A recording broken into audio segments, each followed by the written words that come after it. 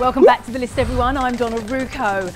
A festival that's got that swing and a shirt you'll need to be in the swing of things while cheering on the Royals. Mitch Weber takes us around Kansas City. At number one, this Saturday's annual 18th and Vine Jazz and Blues Festival planned for the weather. We searched Almanac back 40, 50 years, and we found that there's a sweet spot in October, usually the first two weeks, three weeks in October. What they couldn't plan for, the Royals' winning streak. Which is great, so we celebrate that. We just hope others will come and celebrate with us.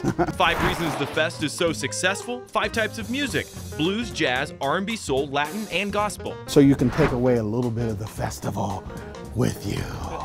At number two, it's been 29 years, but that's not stopping Royals fans from believing. I remember, you know, when Tony Pena was coaching the Royals and we were kind of making a run. They had a, a Believe shirt that was out. Locally owned Charlie Hustle just printed another 500 I Believe shirts. We can't print enough. The shirt's popularity goes beyond the vintage look. Not only the design, but the fit and feel. Um, and so they're super soft. You can wear them out. You can wear them to bed. And fans do because of this streak. There's some stinky people out there. Right, but hey, as long as the Royals are winning it. Yes, absolutely.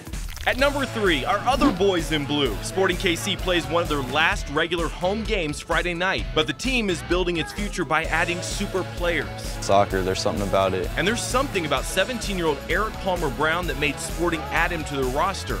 Eric is the youngest MLS player ever. All my teammates helping me. They want the best for me, and they want me to do my best. Soccer isn't his only sport. He's just an okay bowler. My highest score is a 273. His lowest score? A 160 something. That's your lowest? Yeah, recently. Yeah. Is there any sport you're not good at?